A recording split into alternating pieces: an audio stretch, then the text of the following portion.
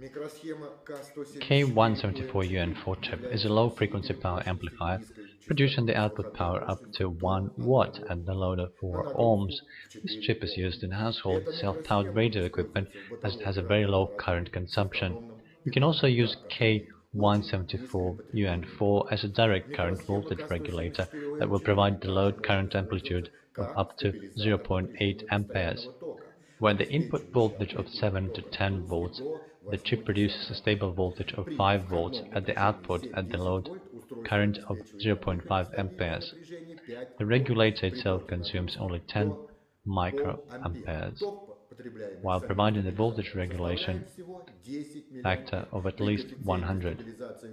The output voltage is set with the help of resistor R1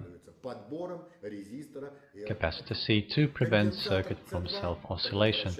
In order to restrict output voltage ripple, its capacitance should not exceed 0.5 microfarad.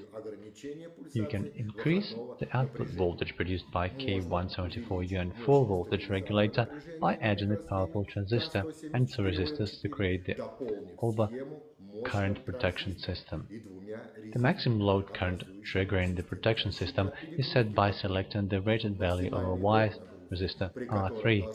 The voltage's input should be connected to the output of a full-wave rectifier equipped with a filter smoothing rectified voltage ripple.